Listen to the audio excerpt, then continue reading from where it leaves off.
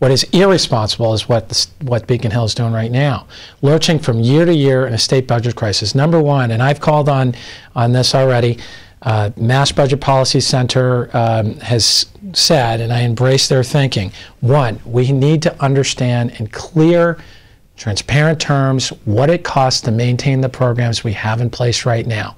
We've got to do that. We've got to be honest. The second thing we've got to do is have honest, real projections that are transparent around how they derive those, around what our state projections are. What's the projected revenue? Not just from year to year, but within the next five years. We've got to be open and, uh, open and transparent there.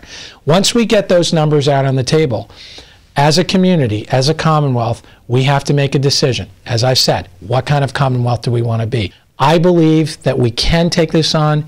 We can do better. We must do better, or else we're going to continue to fall behind. We're going to leave people behind, generation of people. That's why I'm in the race.